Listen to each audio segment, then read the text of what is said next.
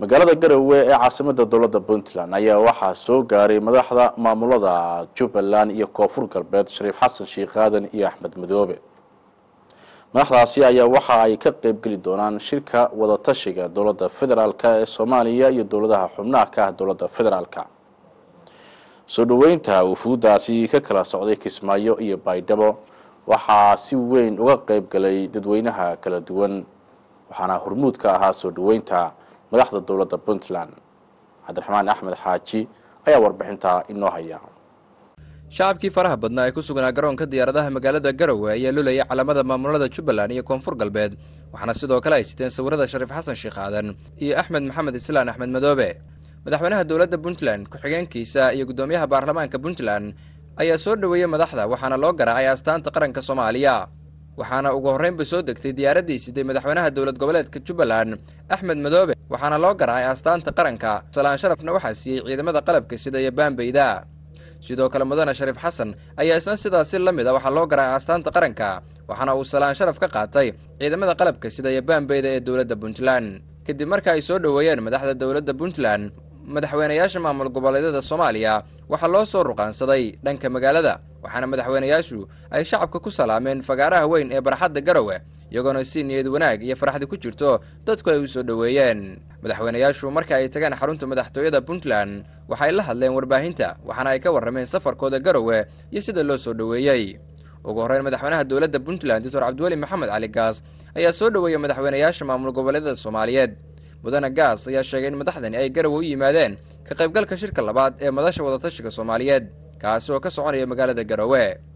Waxaa maanta sharaf weyn inoo ah inaan soo dhoweyno madaxweynayaasha dowladda koonfur galbeed soomaaliya shariif xasan sheekh aadan iyo dowladda jubbaland axmed maxamed islaan axmed madoobe oo u yimid inay ka qayb qaataan shirka labaad ee madasha wadatashiga soomaaliyeed oo lagaga hadli doono arrimo muhiim u ah geedi socodka nabadda soomaaliyeed iyo dowladnimada soomaaliyeed ajendayaal badan ayaa lagaga hadli doonaa shirkaas isaga ah.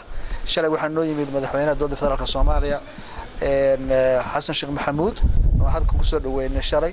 Maantana madaxweyne labada madaxweyne inoo yimid. Ujeedaduna waxaa weeye in laysu yimaado la wada hadlo arrimo muhiim u ah nabadda horumarka iyo dhismaha dowlad soomaaliyeed. Weeye waxaa la isugu yimid laga wada hadli doono ciidan qaran soomaaliyeed higsiga cusub laba kun iyo lix iyo toban iyo waxa soomaali kaga abaaran iyo waxa nagaga aadan ka madaxa ahaan iyo waxa aan ka qaban karno. Inaanu iska waraysano ka wada hadalno markaasi soomaali mid ah oo meel u wada jeeda hal ujeeda leh. Ujeedadu ay tahay horumar soomaaliyeed dowladnimo soomaaliyeed qarannimo soomaaliyeed. Weeye waxaan isugu nimid shirkan uga wada hadli doono. Waxaan rajaynayaa shirkaasuna inuu guul ku dhammaan doono. Kabacdina wuu sii socon doonaa oo meelo kale oo kamida ay soomaaliya lagu qaban doonaa shirka dambe. Saasayna shirkaan u socon doona noqon mid joogto ah oo laisu yimaado. Soomaalida markay isu timaado is aragto wada hadasho wax badan ayaa dawoobaya wax badan ayaa isafgarad laga gaarayaa. Marka waxaan rajaynayaa guul iyo horumar inuu shirku ka soo bixi doono. Dhankiisa waxaa isna uga mahad celiyay shacabka iyo dowladda puntland sida ay u soo dhoweeyeen madaxweynaha maamul goboleedka soomaaliyeed ee koonfur galbeed mudane shariif xasan sheekh aadan waxaana uu sheegay mudane shariif inay rajeynayaan isu imaatinkan madaxda soomaaliyeed ee ay isugu yimaadeen garowe ay noqoto kana soo baxaan arrimo taariikhda u gala soomaaliya runtii aad iyo aadaan idinkaga mahadcelinaynaa soo dhoweynta iyo walaalnimada iyo sidaad noo soo dhoweyseen runtii aad aad ugu mahadsantihiin. Waxaan rajaynaynaa sida madaxweynuhu sheegay in waxyaalo badan laga hadlo oo soomaali dan u ah oo soomaali guul u ah.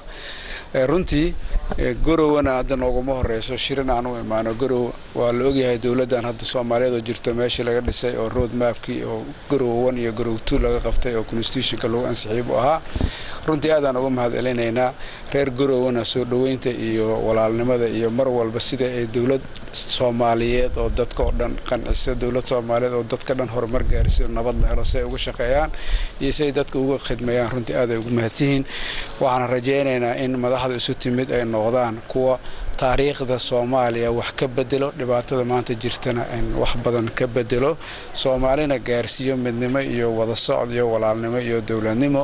Dhibaatadii la gaarayna sidii lagu hilmaami lahaa oo ka shaqeeya kana gaarsiiyo in soomaaliya dowlad sidii ahaan jirtay noqoto oo soomaaliya oo nabad ah oo afarteeda koonna isku socoto oo soomaali ah in la helo ayaan rajaynaynaa. Runtii waana ku rajo weynahay in haddii gorow hadda maanta la isugu yimid in wax badan la gaari doono runtii. Ugu dambayntii waxaa isna dareenkiisa ka hadlay madaxweynaha maamul goboleedka soomaaliyeed ee jubbaland axmed maxamed islaan axmed madoobe mudane axmed ayaa mahadcelin kadib sheegay inuu rajaynayo wadahadalka iyo weliba shirarka kala duwan ee ka dhici doona garowe ay noqdaan kuwa ka bedelan shirarkii hore soomaalida ay yeelatay labaatankii sane u dambeeyey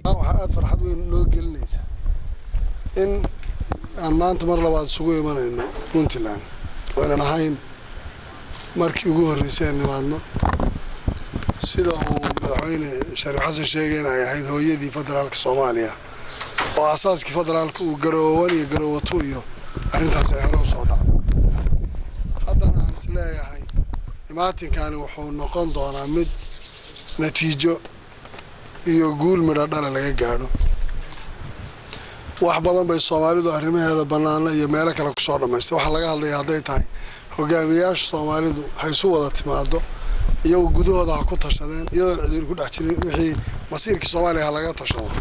Waxay la tahay waqti dhow waxaan gaari doonaa in sidan si ka bedelano fiican loo soo dhici doono. Aad baan reer puntland uga maqsuudnahay soo dhaweyntoodii siay noo soo dhaweeyeen. Waxaana rajaynayaa kulankaani inuu noqon doono mid natiijo dhala shirka madasha wadatashiga soomaaliyeed wejigiisa labaad waxaa martigelisay dowladda puntland waxaana guud ahaan shacabka soomaaliyeed ay u dhegtaagayaan waxyaabaha ka soo baxa shirkaasi oo ay ka wada qaybgalayaan madaxda maamulada dalka ee timid dowladda puntland iyo dowladda federaalka soomaaliya. Waxaana horey garowe u sii joogay oo soo gaaray maalintii isniintii madaxweynaha dowladda federaalk soomaaliya mudane xasan sheekh maxamuud. Cabdiraxmaan axmed xaaji puntland t v garowe